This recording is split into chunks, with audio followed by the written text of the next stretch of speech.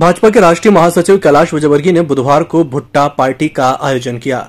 इस पार्टी में भाजपा के साथ ही कांग्रेस के नेता भी शामिल हुए।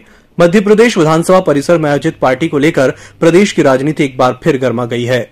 इसके साथ ही कयासों का दौर शुरू हो गया है। लोग इस पार्टी को सत्ता के चेहरे परिवर्तन से जोड़ रहे हैं। दरअसल, उत्तराखंड और कर्नाटक में मुख्यमंत्री बदलने के बाद से ही मध्य प्रदेश में भी मुख्यमंत्री बदलने के कयास लगाए जा रहे हैं। पिछले दिनों भाजपा में जिस तरह मेल मुलाकातों का दौर चला था, उससे इस कयास को बल मिला था, लेकिन मामला कुछ दिन के लिए ठंडा पड़ गया था। अब कैलाश विजयवर्गीय की भुट्टा पार्टी ने मामले को फिर से गर्मा दिया है।